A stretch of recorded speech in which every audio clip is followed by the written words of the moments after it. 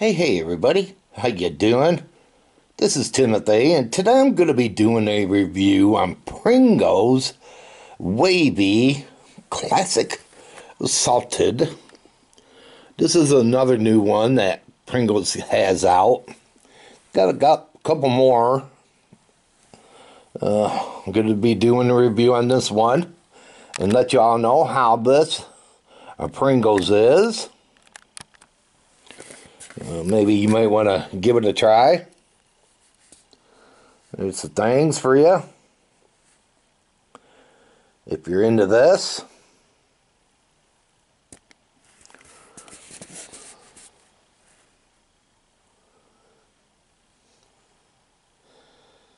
Yeah, let's say now I found this at our local store, Walmart. So if you have a local Walmart where you're at, go there and uh, pick them up.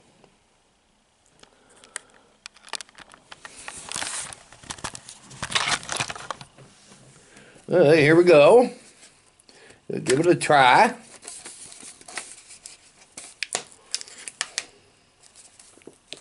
See if it opens. Got no aroma melt, smell.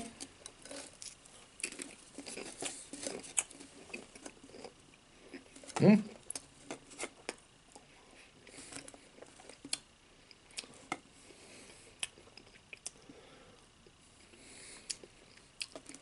It tastes like a regular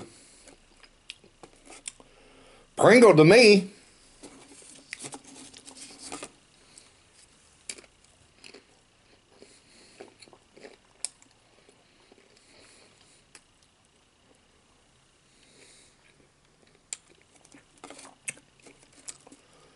A little salty, but not too bad.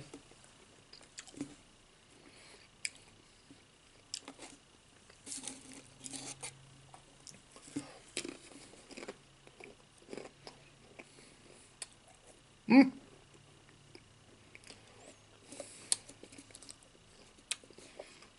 Yeah, it's a little so salty, but not bad like they say. Well, it's good. They could have put a flavor to it.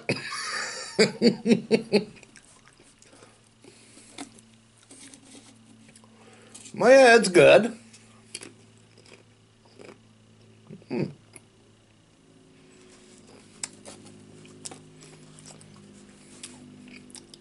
So where would I want to rate this between a 1 and a 10? I gotta give it a 6. That's how that's how it is. A 6. That's fair. That's for sure. But yeah, if uh, you like Pringles, I think you might enjoy them. Would probably go good with some cold beer. well, yeah, it's good. Nothing bad about them. Just could have added some flavor to it. That's for sure. and it's salty a little bit. Not too bad, but it's salty.